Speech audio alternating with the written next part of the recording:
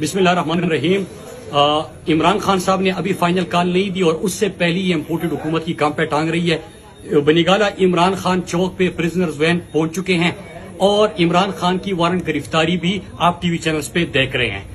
आ, मैं चंद सवाल करता हूँ। एक ये कि इमरान खान से मसला क्या है? क्योंकि इमरान खान ने अमेरिका को एब्सोल्युटली नाट कहा।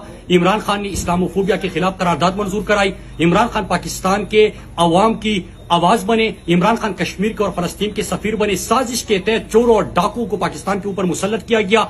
अमेरिका को अलाकार और सहूलतकार दोनों मुयसर आए। फिर उसके बाद एनआरओ अपने लिए हासिल कर दिया और कौम के ऊपर महँगाई का बोझ डाल दिया। अब जब पूरी पाकिस्तानी कौम इमरान खान के साथ खड़ी है और ये तमाशा वो बर्दाश्त ही नहीं कर सकते कि साकदार जैसा मफरूर और इश्तियारी पाकिस्तान आके डायरेक्ट वजी अजम की तैयारी में, उसको इम्पोर्टेड वजी की तैयारी में लाया जाता है। फिर जिसकी लंदन तो क्या पाकिस्तान में भी कोई जायदाद नहीं? वो जालसाज मरियम को बरी किया जाता है और फिर उसके बाद अब नवाज़ शरीफ को वापिस लाने की तैयारी और इमरान खान को किस तरह माइनस कर दे? क्योंकि तमाम प्लेन में एनआरओ में लूट कसूट की मुआफी में अगर रुकावट है तो वो इमरान खान खान है। लिहाजा मैं सवाल पूछता हूँ कि कल ही बल्कि आज ही एक जालसाज खातून ने इस्लामाबाद पुलिस को अहकाम दे, देते हुए कहा कि बनीगाला जाके इसको गिरफ़्तार करना चाहिए। तो क्या इनके जाति गुलाम है?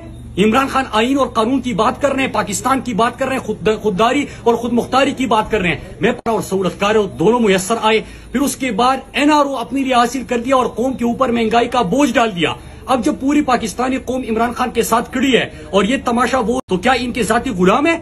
इमरान खान आइन और कानून की बात कर रहे हैं, पाकिस्तान की बात कर रहे हैं, खुद, खुददारी और खुद मुख्तारी की बात कर रहे हैं। मैं पाकिस्तानियों को कहता हूँ कि आप तैयार रहे इम्पोर्टेड हुकूमत को बहुत जल्दी है घर जाने की। इनशाला इनकलाब हमारे दरवाजे पे दस्तक दे रहा है और इमरान खान की फाइनल कार से पहली इम्पोर्टेड हुकूमत को हम रोसत करने में कामयाब हो जाएँगे। जो इस्लामाबाद में है, वो बनीगाला पहुँचे और इनशाला इमरान खान तो हमारी रेड लाइन है। इनकी ज़रूरत ही नहीं है इमरान ये रेड लाइन क्रॉस करने की। और अगर रेड लाइन क्रॉस करने की इन्होंने कोशिश की और बनीगाला में दाखिल होने की कोशिश की तो मैं इनको बताता हूँ, बल्कि लिख के देता हूँ, लिख के। कि 27 किलोमीटर का इस्लामाबाद जो आसपास है, वो आपके लिए कल सुबह तक हम जेल बना के रहेंगे इंशाल्लाह।